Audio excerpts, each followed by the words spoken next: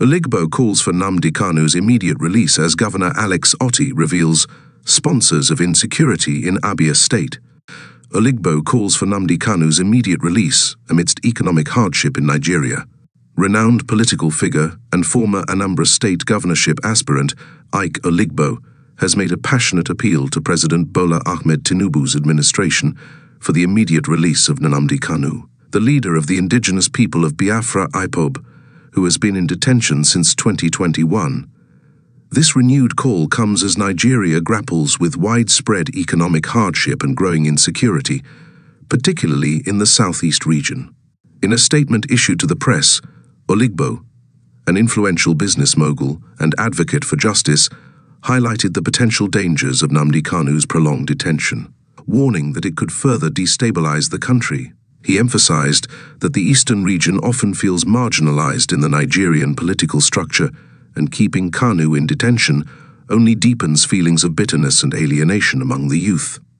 The continued detention of Nnamdi Kanu serves no purpose other than to foment resentment and anger, particularly among the younger generation in eastern Nigeria, Oligbo stated.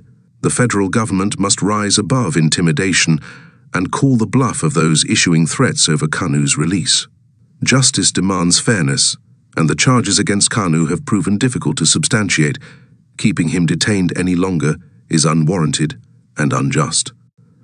Oligbo also drew attention to the dire economic situation in the country, stating that millions of Nigerians are facing untold hardships due to inflation and a dwindling economy. He argued that this is the wrong time for political gamesmanship, especially when it involves a matter as sensitive as Kanu's welfare and the unity of the nation. Amidst the current economic hardship, this is not the time to play politics with people's lives. The government must demonstrate leadership by taking decisive actions that prioritize national unity and progress. Releasing Nnamdi Kanu is a step towards healing and reconciliation, Oligbo concluded.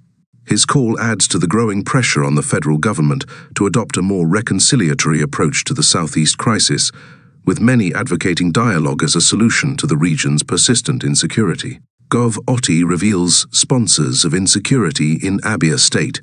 Governor Alex Otti of Abia State has said opposition politicians in connivance with some external parties were behind the growing insecurity and criminality in the state.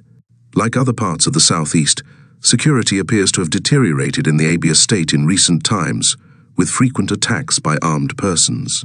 Last Wednesday, gunmen killed two Nigerian soldiers at a checkpoint on the Umuahia Owerri Road in Ekenobizi community in Umuahia, South local government of the state.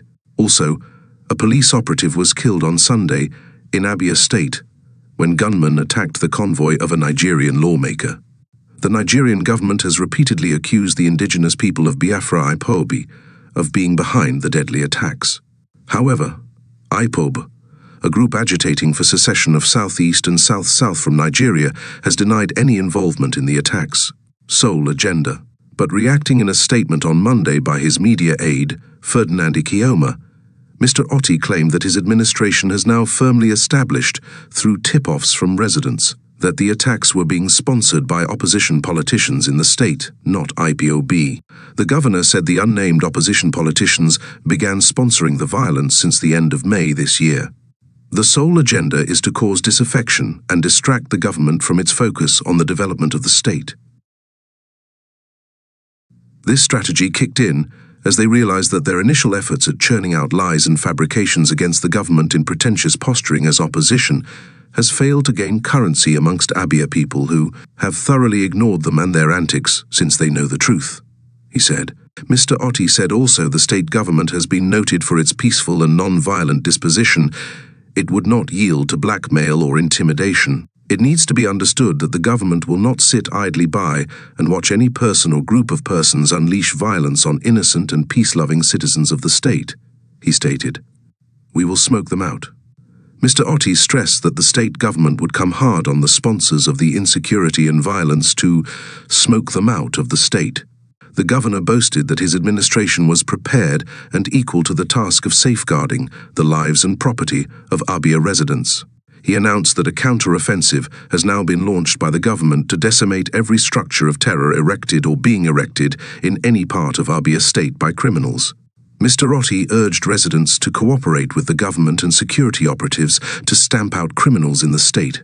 Government wishes to strongly warn that anyone that attempts to play politics with the lives and property of innocent Abians should be ready to face the consequences, as the government will no longer tolerate such acts, no matter who is behind them, he said. The governor asked community leaders and traditional rulers to be vigilant and report suspicious activities to the law enforcement agencies for appropriate actions. He also called on parents and guardians to monitor activities of their children and loved ones in order to ensure they do not indulge in any form of criminal activity in the state. Stay tuned for more updates. Very worried about it, knowing that that has been the fulcrum, I would say, for what is going on in the South is regarding the insecurity. All the criminals and all the people going around causing mayhem in the southeast have all said that it is because Mazi Nnamdi Kanu is being held. We know that this is not the truth. It's just that we have gotten to the point where people are now uh, hijacking a legitimate call for his release and turning it into something that has led to deaths and um, destruction of properties and um, so many other undescribable mayhem that is going on in the southeast.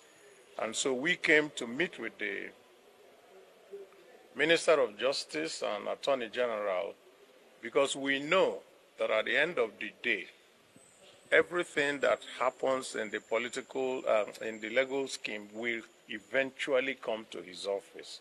And we came to appeal to him to um, help us to let Mr. President know that all leaders of the Southeast feel that the release of Mazi Nnamdi Kanu will help in dousing all the tensions and everything that is going on in the southeast.